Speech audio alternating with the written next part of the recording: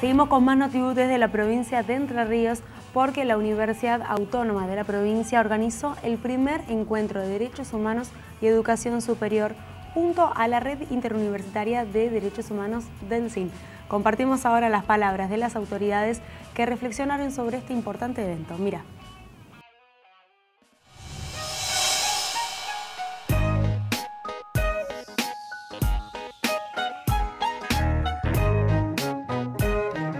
Se realizó en Paraná la apertura del primer encuentro nacional Derechos Humanos y Educación Superior, organizado por la Red Interuniversitaria de Derechos Humanos y la WADER, con el objeto de reflexionar en torno a políticas, prácticas y dispositivos a 100 años de la reforma universitaria. Ante un importante marco de público que se congregó en la escuela normal, las autoridades señalaron la relevancia del encuentro en el contexto actual del país. Estamos más que satisfechos, primero por la convocatoria, porque superamos los mil inscriptos, eh, más allá de que puedan asistir un poco menos, pero es una cantidad muy importante de asistentes de una treintena de universidades, de institutos, institutos superiores y de organizaciones sociales vinculadas a las temáticas de los derechos humanos. Eh, y como universidad esto tiene un peso muy significativo. En primer lugar, porque esta universidad tiene una política de derechos humanos que la hace carne día a día en tanto en la docencia como en la extensión y la investigación.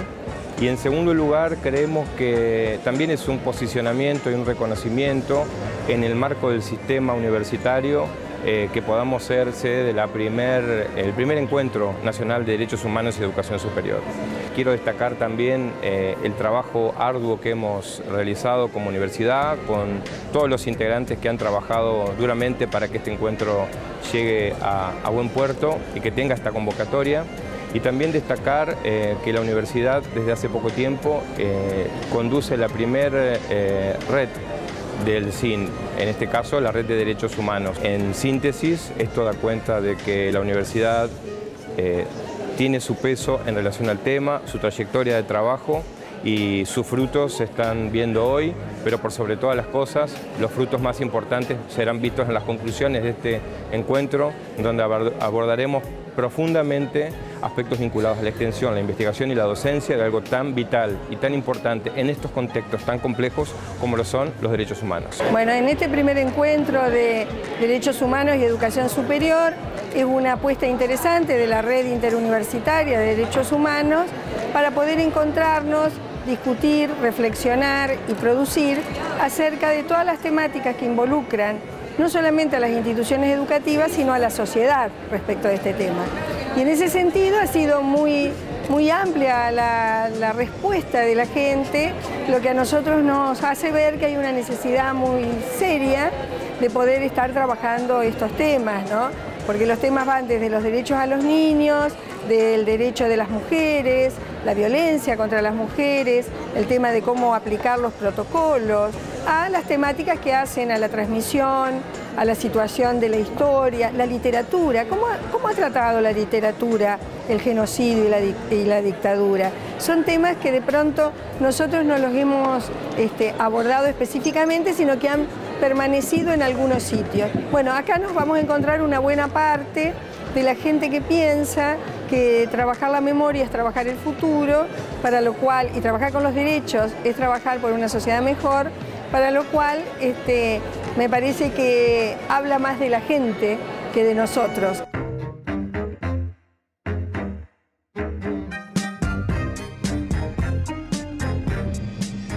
...18 años... ...somos Wader... ...somos Universidad Pública... Con muchísimo público interesado en la temática se desarrolló este primer encuentro que profundiza todo el trabajo en materia de derechos humanos que viene realizando nuestras universidades. Y ahora compartimos información de la Universidad Nacional de General Sarmiento porque fueron reelectos como rectora y vicerrector la doctora Gabriela Dicker y el licenciado Pablo Bonaldi. Compartimos con ustedes un momento del discurso de la rectora.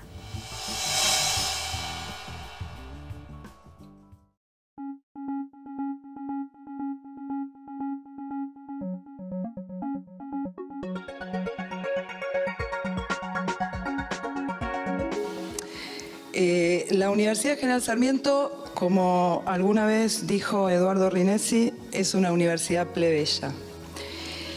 Y gracias a eso, y fundamentalmente porque esta coyuntura de ataque frontal al sistema universitario lo requiere, hemos alterado un poco los protocolos de este acto y lo hemos convertido también en un acto en defensa de la universidad pública.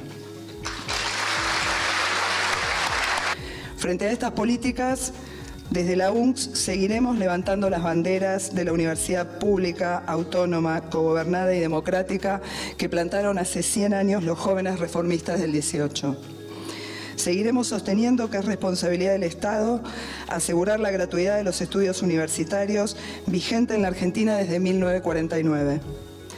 Seguiremos defendiendo el principio declarado en 2008 y ratificado hace pocos meses en Córdoba, que afirma que la educación superior es un bien público, social y un derecho humano universal. Seguiremos aportando, en definitiva, a la construcción de un modelo de país y de desarrollo en el cual el sistema universitario y el, y el sistema científico-tecnológico sigan produciendo conocimiento, transfiriendo tecnologías y formando los profesionales que la sociedad requiere para asegurar igualdad, crecimiento y soberanía. La UNCS está cumpliendo 25 años. Y estas banderas y estos principios que seguiremos defendiendo no son otros que los principios fundacionales de esta universidad, que han sido encarnados y sostenidos a lo largo de su historia por todos sus rectores.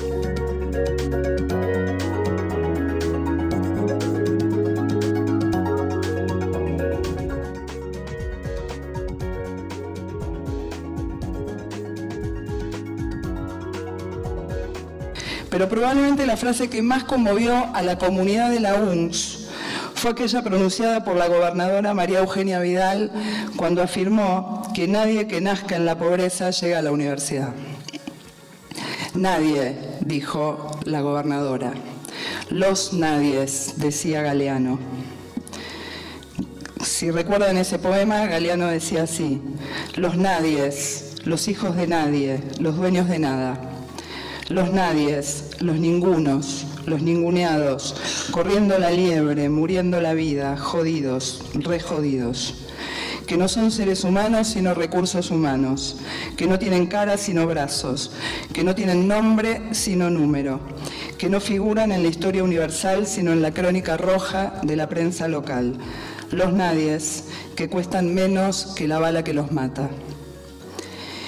Quizás esa frase nos conmovió tanto porque esta universidad, a través del conocimiento que produce, a través de su investigación, discute las políticas que producen a los nadies, a los nadies de Vidal. Y por otro lado, esta universidad, a través de la formación, interrumpe los destinos que esas mismas políticas les pronostican. En esta universidad los nadies tienen nombre, tienen cara, tienen historia y tienen derechos.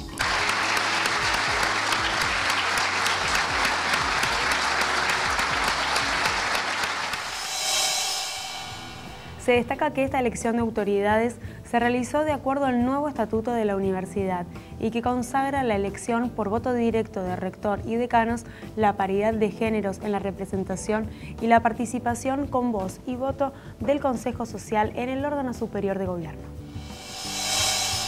Y ahora compartimos información de la Universidad Nacional de La Plata porque inauguró una planta experimental de residuos electrónicos con el objetivo de proveer soluciones a la problemática de este tipo de desechos, entre otros desafíos.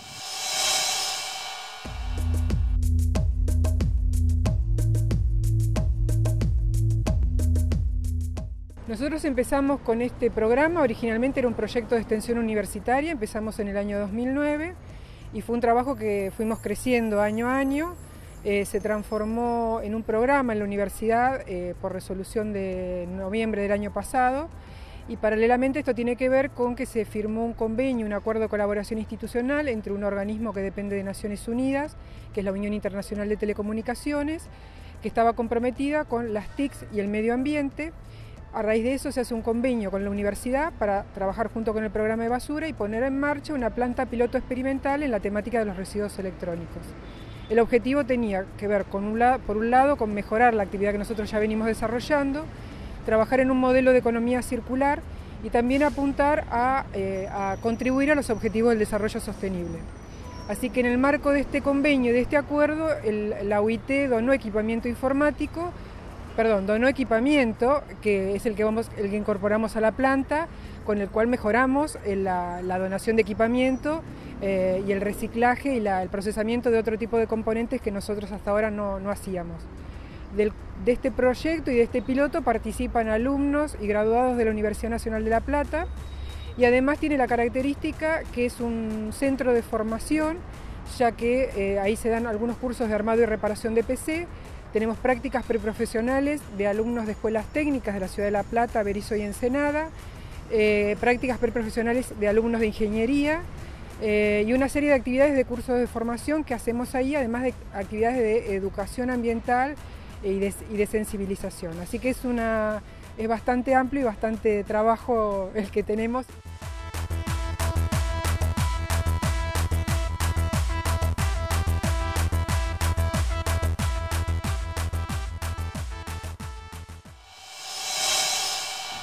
A partir del trabajo que realiza el equipo conformado por docentes, alumnos y graduados de la UNLP, se contribuye al cuidado del medio ambiente, también de la salud y a reducir desigualdades sociales y culturales y a achicar la brecha digital de nuestra sociedad, además de la formación de los alumnos universitarios. Y hasta aquí llegamos en esta edición de Noti1. Nos reencontramos la próxima semana con mucha más información de todo lo que produce nuestras universidades públicas.